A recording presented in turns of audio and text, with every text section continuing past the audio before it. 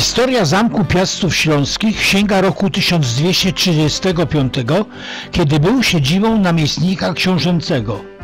W 1311 roku wyodrębniło się księstwo brzeskie i zamek stał się siedzibą książąt brzeskich. Książę Ludwik I Brzeski przebudował zamek w latach 1368-69 i wzniósł obok zamku kaplicę świętej Jadwigi.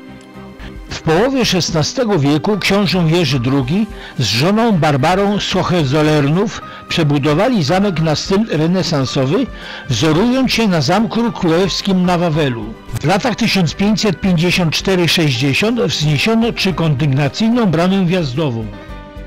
Dolna kondygnacja ma charakter łuku triumfalnego. Nad łukiem posągi fundatora i jego żony naturalnej wielkości. Pary giermków trzymają herby rodowe.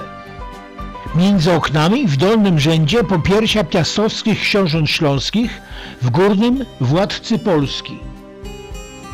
W każdym rzędzie jest po 12 opisanych popiersi. Pilastry i łuk pokryte są bogatą płaskorzeźbą.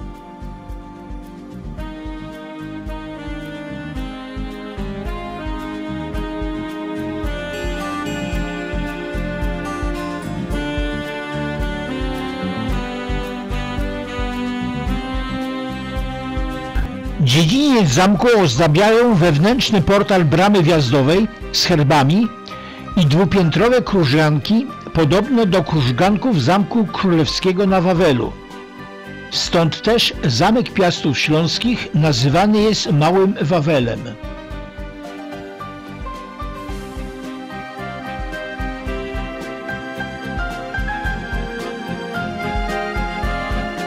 Zamek składa się z trzech skrzydeł zbudowanych wokół dziedzińca w kształcie trapezu, połączonych murem parawanowym od strony północnej. Skrzydła zbudowane są na planie prostokąta i podpiwniczone. Krużganki przyziemia wspierają się na półokrągłych arkadach i kolumnach jońskich przedłużonych pilastrami. Ten sam układ arkad znajduje się na pierwszym piętrze, ale kolumny są w porządku korynckim. Na drugim piętrze zastosowano kolumny jońskie.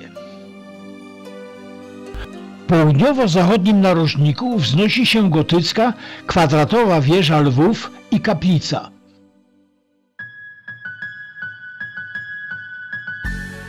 Na obu górnych kondygnacjach znajdują się tralkowe balustrady. W przyłuczach oryginalnych arkad, które nie uległy zniszczeniu, zachowały się medaliony z głowami męskimi i kobiecymi.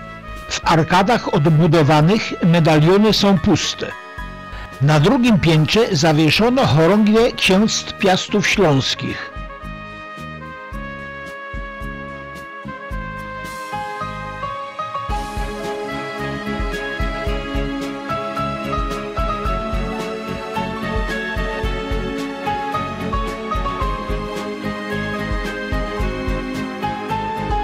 Na dziedzińcu znajduje się studnia oraz lapidarium z elementami kamieniarki zamku i miasta, herbami i płytami nagrobnymi.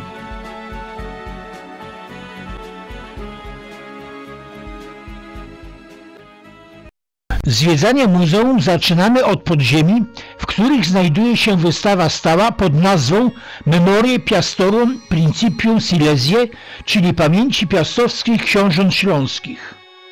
Zgromadzono tu sarkofagi z brzeskiej nekropolii piastowskiej, płyty nagrobne średniowiecznych piastów śląskich, kopie rzeźb pary książęcej z bramy zamkowej Jerzego II i jego małżonki Barbary z 1941 roku, a nawet XVI-wieczną rzeźbą ulubionego psa księcia Jerzego II.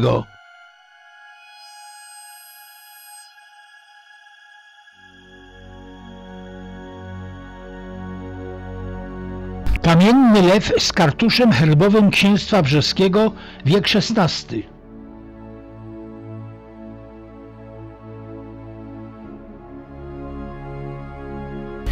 Fragment nagrobka księżnej Barbary. （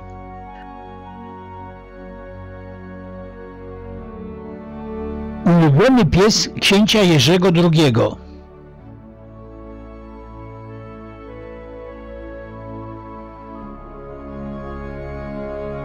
Jerzy IV Wilhelm, książę brzesko-legnicko-wołowski. Wacław II, książę legnicki, biskup lubucki i wrocławski, zmarł w roku 1419.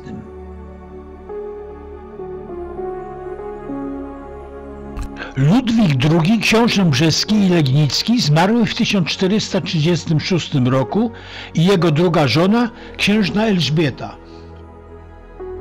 Henryk II, który poległ w bitwie z Tatarami pod Legnicą 9 kwietnia 1241 roku. Henryk VI, zmarły w 1335 roku, książę wrocławski. Bolesław I i Bolesław II, książęta opolscy.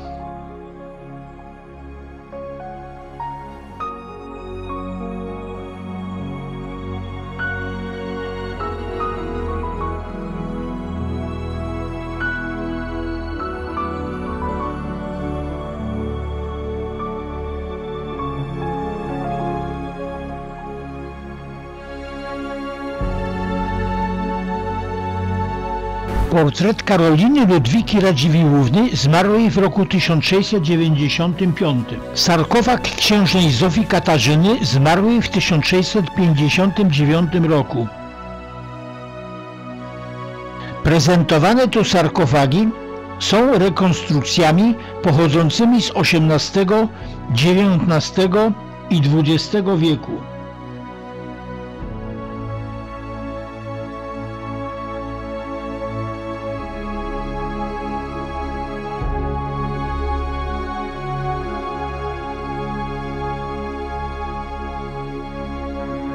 Kopia rzeźby świętej Jadwigi Śląskiej, kanonizowanej w 1267 roku na świętą patronkę Śląska i rodu Piastów. Kolejna wystawa stała prezentuje sztukę śląską od XV do XVIII wieku. Pietas około roku 1420 i Chrystus zmartwychwstały z około roku 1400 z pracowni śląskich drewno polichromowane. Śpiący apostołowie, połowa XV wieku. Rzeźba z grupy Modlitwa w Ogrójcu.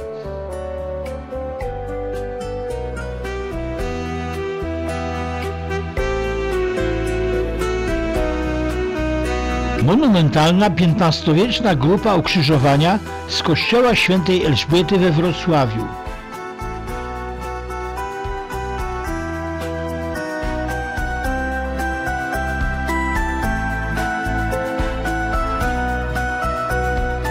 Madonna z dzieciątkiem, drewno polichromowane z około roku 1430.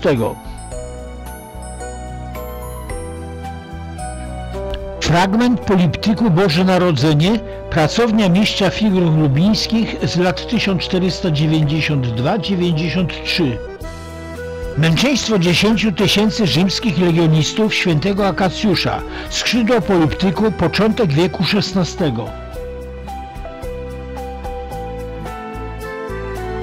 Pokłon Trzech Króli i sceny z życia Marii z około 1510 roku. Tryptyk z pracowni mistrza zaśnięcia Marii. Drewno polychromowane i złocenia. Fragment sądu ostatecznego nieznanego malarza śląskiego.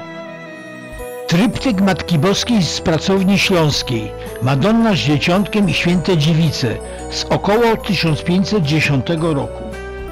Malarz wrocławski Ukrzyżowanie z 1542 roku. Obraz z epitafium Tilmana Hertwiga. Epitafium Benedykta Distlera Alegoryczne ukrzyżowanie z 1576 roku. Epitafium Petera Nunharta Malarz wrocławski Biczowanie Chrystusa z 1556 roku. Stolarz i malarz śląski Chrzcielnica z 1614 roku, drewno polichromowane.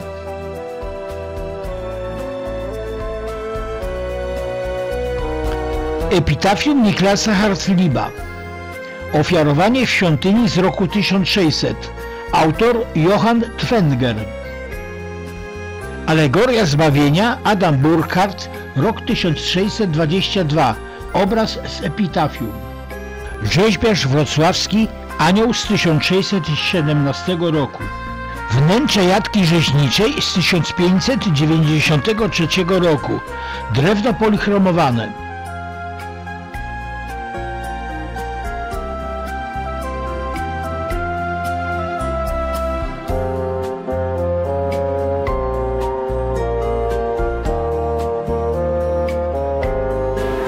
Wizja Ezechiela, epitafium rodziny Gomolkę po roku 1620. Matia Steini, Chrystus ukrzyżowany, lata 1680-1690. Malarz i snicerz śląski, epitafium Heleny Gersdorf z roku 1673.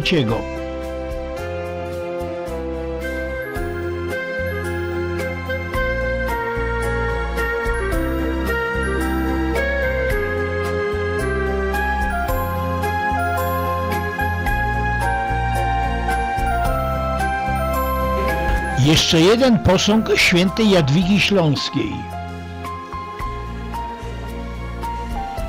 Święci Jan i Łukasz Ewangelista, śląskiego rzeźbiarza z około roku 1700. Kolejne wystawy stałe obejrzymy w drugiej części filmu.